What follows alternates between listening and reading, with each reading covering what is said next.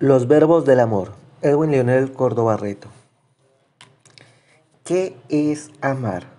Solemos confundir el amor con un sentimiento, pero el amor no se trata de un sentimiento, sino que el amor ante todo es un acto de la voluntad. Debemos entender que los diferentes actos de la voluntad en los que se configura el amor se encuentra primero el deseo.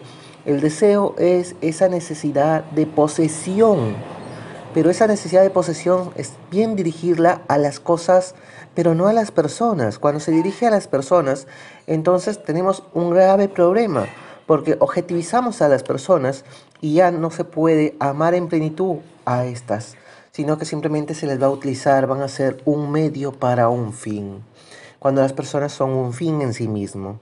Segundo está la aceptación del pasado. Cuando se ama, se acepta el pasado de la otra persona. No se puede amar sin aceptar a la persona. De hecho, si no se acepta a la persona, no se está amando porque no se sabe quién es la persona realmente. Amar es decirle sí a la otra persona. Está la proyección al futuro como tercer elemento. Uno que ama siempre se ve al lado de la otra persona. Marca su vida junto con la otra persona. Por eso es que el término pareja resulta tan inútil, porque pareja siempre sigue siendo par y el término correcto debería ser amantes, porque los amantes son aquellos que se aman, se aman de tal manera hasta convertirse en uno mismo. Si bien hay formas diferentes de amar, los amigos, por ejemplo, son dos seres que miran un único camino en conjunto hacia el futuro, es una proyección hacia el futuro. En cambio, los amantes se miran mutuamente hasta convertirse en uno solo, porque es ahora un solo futuro, un solo proyecto el que va a caminar. El amor tiene que ver con el futuro, no se ama en presente solamente. De hecho, el presente no existe, el presente es una suave unión entre pasado y futuro. Siempre se ama futuro, siempre se ama negado como tarea. Luego el amor es creativo como cuarto elemento. El amor siempre saca novedades, siempre saca algo nuevo. No podemos dejar que el amor sea estéril. El amor nos lleva a crear un poema, a hacer un adorno. El amor nos lleva a que aparezca una nueva vida. Por último, está el amor como benevolencia. El amor como benevolencia es en realidad el amor más puro, pues se ve a la otra persona no como un objeto, sino se ve en sí misma. Y lo que se intenta es comprenderla, se busca comprender a la otra persona para que de esa manera la otra persona la podamos amar y ayudar a perfeccionar y mejorar y cuidar. Ahora, los tipos de amor que existen. Los tipos de amor que existen son, según el modo de amar, el amor necesidad o deseo. Amor necesidad es el que objetiva a la persona y amor benevolencia es el que busca comprenderla para perfeccionarla. El amor romántico, ¿qué tipo de amor es? Es un amor entremezclado porque uno quiere perfeccionar a otra persona, pero quiere perfeccionarla junto con él. Quiere sentir ese placer o gozo de tenerla cerca, pero no para utilizarla, sino para ayudarle a ser mejor. Luego, según a quién se ama, según a quién se ama está el amor de familia, el amor filial, el amor entre hermanos, el amor entre padre e hijos. Luego está el amor amistad. El amor amistad, los amigos son los primeros seres con los que llegamos al mundo, con los que conocemos al mundo. La amistad es una benevolencia recíproca dialogada. Se dice que son los hermanos, los hermanos que no elegimos.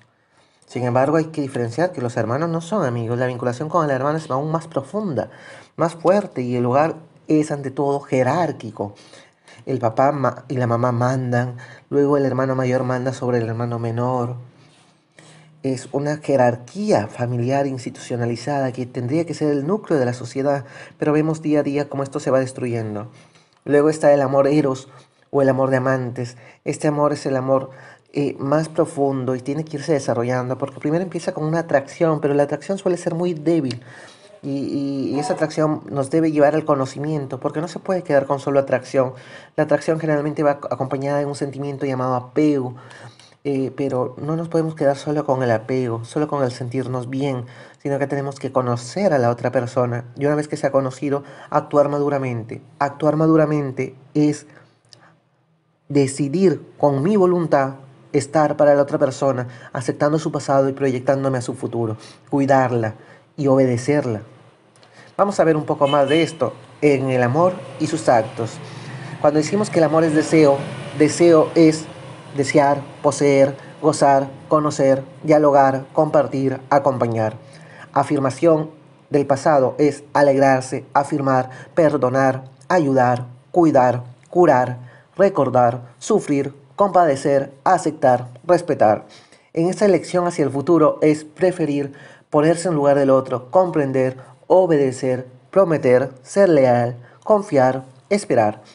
En esa creación, en ese acto creativo, eh, el amor es crear, decir, reproducir, regalar, beneficiar, honrar, dar honor. En este don, como último elemento o benevolencia, el amor es corresponder, agradecer, dar, darse, sacrificarse, dar el ser, enseñar, corregir, contemplar. El deseo y el conocimiento del otro. Amar es desear. Desear es la inclinación de la propia plenitud que nos hace desear y amar aquello que nos hace felices, que nos perfecciona.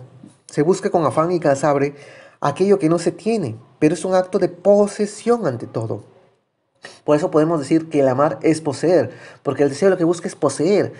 Y se busca poseer aquello que se ama, porque el amor tiende a la unión. Amar es alcanzar lo amado con lo que se desea, es tenerlo, es hacerlo propio. Amar es gozar. La presencia del bien amado o el hecho que se está amando es la posesión del bien que nos corresponde. Y cuando nosotros poseemos el bien, satisfacemos una necesidad. Es decir, sentimos un placer, un deleite. Y ese deleite se alcanza con la posesión con el disfrute de lo poseído. Amar es conocer. El amor del hombre busca el conocimiento de lo amado. Se busca conocer lo amado hasta lograr una identificación con ello. No se puede amar lo que no se conoce. Miremos el rostro directamente del amado y podamos identificarnos y podamos llegar a desvelar lo que está detrás de ese rostro. Conocer es muestra de un verdadero amor. Amar es dialogar. Yo no voy a adivinar lo que la otra persona guarda. Lo que yo sí puedo hacer es que esta persona me lo diga. Y, así la voy conociendo. Entonces yo tengo que dialogar con esta persona, manifestar mi intimidad, brindarle mi intimidad y que ella mediante el diálogo me muestre su intimidad, se comunique conmigo. Amar es compartir. El diálogo crea algo común, algo que solo existe entre esas dos personas. Lo común es lo íntimo, los secretos. Solo se comparte con quien nos ama. Porque sabemos que no nos va a divulgar, no va a divulgar lo nuestro, no nos va a traicionar. Amar es acompañar. Del compartir nace el deseo de seguir compartiendo y sobre todo del goce de la presencia de la persona amada. Nace la voluntad de no separarse de la persona amada. No hay nada más propio que el convivir, que el acompañar. Y si queremos acompañar, escuchar, dialogar, compartir, entonces amar es dar el tiempo. Amar es estar con el ser amado sin cansarnos de acompañarle. Es esperar que crezca y que se vaya perfeccionando. El que ama tiene paciencia con el ser amado. Amar es alegrarse. En la afirmación del otro tenemos que decir que amar es alegrarse. Ese uso implica la aceptación y el rechazo, pero decimos sí, sí a la persona, sí a su pasado, sí, y le decimos es bueno que tú existas, y es bueno que existas de la forma que existes. Decirle sí, decirle que es bueno que exista, es la forma propia de afirmar en el amor. Amar es afirmar. Hay una aprobación del otro, no solo de su presente, sino también de su pasado. Aprueba la existencia del amado y también lo que el ser amado ha hecho en su vida. Amar es perdonar. No somos perfectos. No se puede aprobar algo por ser inaceptable, pero se le perdona. Perdonar es borrar lo inaceptable y ofensivo en la conducta pasada del otro. No se concibe un amor verdadero sin que sepa perdonar. Es decirle, sé que tú no eres así, pero tampoco hay que perdonar cualquier cosa. Amar es renovar el amor. El amor hace nuevas todas las cosas del amado, las observa cada día como si fuera la primera vez. El amor puede detectar enseguida cualquier novedad. Amar consiste en una tarea ética continua. Amar es ayudar. La afirmación en presente es ayudar, dar los medios para que el otro pueda recibir lo que necesita. La ayuda es forma muy importante, es una forma muy importante de la relación interpersonal, sin la cual la sociedad no puede funcionar. Hay que comenzar reconociéndole que el otro nos necesita, que el otro necesita esa ayuda y la necesita de forma desinteresada. Y nosotros brindamos esa ayuda porque en realidad queremos cuidar a la otra persona. El error y la fealdad en el ser amado eh, puede ser evitable en el futuro. Para esto se necesita cuidar al ser amado, para que no frene su desarrollo, para que no frene su búsqueda de perfección. Parte del cuidado es reparar el error, la fealdad. El dolor es curar. Amar es recordar. Afirmar al otro puede hacerse cuando éste se encuentra ausente. Parece que se ama más al ausente, se evoca la presencia del amado mediante recuerdos, que sacar lo que se guarda dentro para revivirlo. Amar también es sufrir. Si se pierde al ser amado y el recuerdo sigue sin poder superar la ausencia del otro, El amor se convierte entonces en sufrimiento. El sufrir es dolor, no físico, sino espiritual. Amar es compadecer. Cuando nuestro ser amado sufre, nosotros nos compadecemos, lo que significa sentir profundamente junto a alguien. Compadecer es padecer con. Podríamos señalar que tenemos misericordia por el ser amado, que intentamos ponernos en su lugar, pero esto es casi imposible, por lo tanto, lo que sí debemos hacer es estar junto a la persona. Por eso amar es consolar.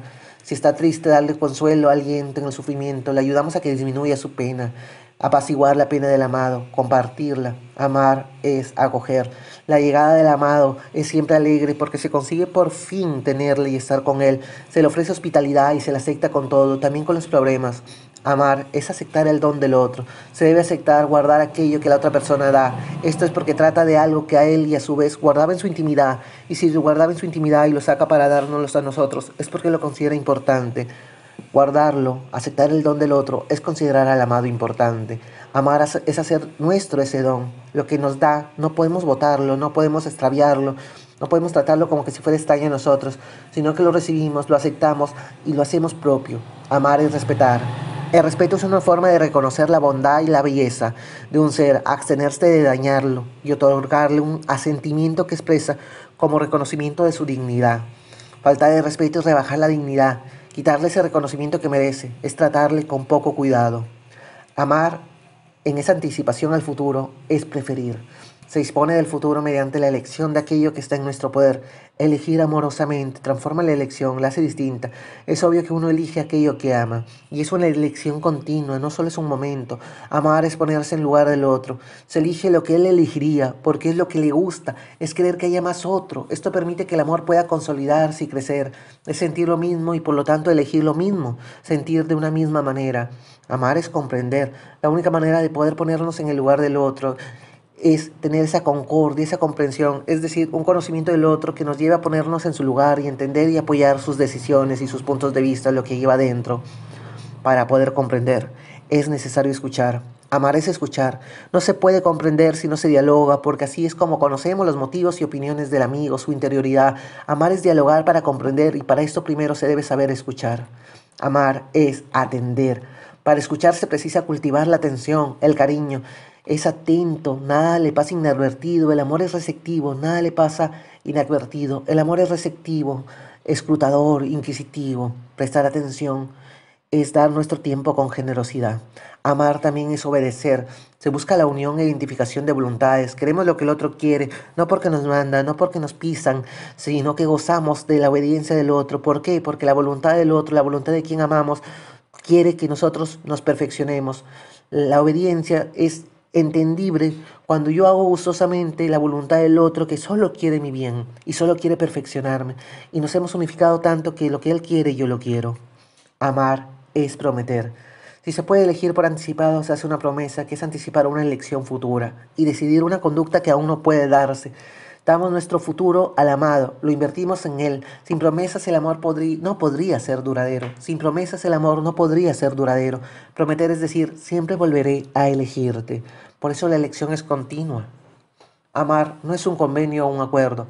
Una promesa es futura, es desinteresada, es incondicionada. En cambio, un convenio o acuerdo es una decisión en presente, interesada, recíproca. Se trata de un pacto convenio de dos voluntades libres. Ambas se benefician al recibir algo a cambio de algo. En cambio, el amor no es un convenio, no es un acuerdo, es una promesa, es futura, desinteresada, es incondicionada. Amar es ser leal. Seguir amando cuando el ser amado está ausente significa ser leal, es decir, actuar como si el amado estuviera presente, evitar que le calumnien, no hacer lo que le disgustaría y desde luego serle fiel y actuar conforme a ese amor. Amar es confiar. El amante no teme que el amado use su libertad para dañarle o destruir el amor. El amante confía en el amado, le deja actuar como quiera, porque sabe que le será leal. Confiar es dar libertad al amado, sabiendo que el uso de ella hará solo permitirá crecer ese amor en vez de disminuirlo. Por lo tanto, amar es confiar. No podemos estar desconfiando de nuestros seres amados. Amar es no mentir. Si confiamos, no mentimos. El amigo no me engaña, el, amante no me engaña. La mentira destruye el amor y la amistad, pone murallas entre las personas, impide la presencia de la verdad en las relaciones interpersonales. Amar es esperar. La esperanza se funda en la seguridad de que alcanzaremos el bien amado. Lo vemos venir a nosotros. La esperanza fundada en el amor es la más tenaz de todas, la que aguanta todas las dificultades y sostiene al ser amado que espera, aunque parezca imposible seguir esperando. Amar es saber esperar. Amar en la manifestación del amor, en ese amor creativo. Amar es manifestar manifestar la capacidad creadora del hombre aplicada al amor. Busca manifestar el amor y perpetuarlo, reproduciendo lo amado. Si no se manifiesta el amor y no se perpetúa en los bienes que crea, es un amor que no deja huella. Es amar, es empujar a crear. Amar es crear. Crear es hacer que existan cosas nuevas. Lo más creador que existe es el amor. No se crea más que por amor. El amor se expresa en los gestos y la conducta. El amor hay que cuidarlo, alimentarlo, hacerlo crecer a base de estas manifestaciones prácticas. Si no, la rutina lo apaga y quizás ni siquiera exista o existía. Amar es regalar. Regalar es una de las formas de dar. Implica desprenderse totalmente de algo para entregárselo a la persona amada. Así se manifiesta un verdadero amor. Un regalo verdadero tiene que ser algo valioso. Los más sentidos son los que hemos construido o un objeto valioso de un alto precio. El regalo convierte en deudor al que lo recibe. Amar es beneficiar. Cuando se regala algo útil o cuando en general se da un bien al ser amado o a otras personas, hablamos de beneficiar, benefacere, es decir, hacer un bien. El amor siempre busca beneficiar al ser amado, conseguirle ventajas, facilitarle las cosas, que tenga los medios que necesita. Amar es honrar. Honrar es estimar, mostrar un reconocimiento que hace más digno al otro. Ser amado es ser honrado, es decir, ser reconocido por nuestro ser amado como alguien importante. Amar también es dar honor. Un modo especial de honrar es dar honor. Esto es honrar públicamente, delante de todos. Dar honor es un reconocimiento público que los méritos y la excelencia de alguien, el honor se tributa hacia una persona testimoniando el bien que hay en ella. Debemos dar honor a nuestros seres amados. Amor como don o como benevolencia. Amar es corresponder al amor. Si amar es querer el bien para el otro, ese querer se refuerza cuando el otro desea el bien para mí. El amor se hace mutuo. Entonces querer el bien para el otro es querer también mi propio bien, porque es lo que el otro quiere si me siento amado. Entonces amaré más porque el otro también quiere mi bien. Amar es agradecer. Se debe corresponder al don recibido del amor. Un modo de hacerlo es la gratitud. En la gratitud hay una intensificación de la justicia porque busca afirmar al otro pagándole amorosamente lo debido. El agradecimiento es el amor y el don debido al benefactor, al amante. Amar es dar, darse, donde sí. El hombre es libre porque se posee a sí mismo, es dueño de sí. Por eso cuando ama, es dueño de dar lo suyo. Por eso cuando ama es dueño de dar lo suyo. Y el modo más radical de dar es darse uno mismo, poseerse, para darse a quien nos ama. Entonces le damos lo que Él más quiere, nosotros mismos. Este es el modo más intenso de amar. Amar es sacrificarse. El modo más corriente de darse uno mismo es sacrificarse, renunciar a algo propio para dárselo al amado. Amar es sacrificarse. Lo que da sentido al dolor es el amor. Se aguanta el sufrir porque se ama. Si no se aguanta solo el sufrimiento asimilado, deja de ser sufrimiento. Amar es dar el ser. Lo más radical que se puede dar es el ser. Hacer que exista algo es el modo más intenso de afirmarlo, porque es crearlo. Los padres pueden dar el ser a sus hijos. Dios es el único que puede dar el ser sin condiciones ni materia preexistente. Es amor infinito. Amar es enseñar la verdad. Un acto de amor como don es dar la verdad que se tiene, es decir, enseñar lo que se sabe. La tarea de enseñar la verdad tiene que ver con el amor, no solo respecto de la verdad teórica, sino sobre todo respecto de la verdad práctica, mostrar la verdad, encaminar al ser amado. Amar es corregir. Cuando vemos que la persona amada se equivoca, no la abandonamos. Por el amor que se le tiene, no se le quiere dejar en el error. Si se trata de una verdad pequeña, le prestamos así una ayuda. Si se trata de una verdad grande, entra en el juego el diálogo y la libertad. Amar es contemplar. Amar con benevolencia transforma lo bueno y lo verdadero en bello. Contemplar es mirar con atención la belleza de los otros seres. Contemplar es una mirada que se detiene en algo bello que por serlo es amado o que es amado y por serlo es bello. Contemplar es mirar amando. El que contempla no observa lo útil, lo instrumental. El que contempla la belleza no busca utilizarla. Si lo hiciera estaría ante un acto de interés los verbos del amor. Aprendamos a amar con cada uno de los verbos descritos. Amar es, en definitiva, el acto de la voluntad que busca perfeccionar a la otra persona y quiere ante todo que esa perfección de la otra persona suceda junto a nosotros, porque la amamos tanto que no nos queremos desprender de ella, pero sí queremos su libertad, su perfección y su bien.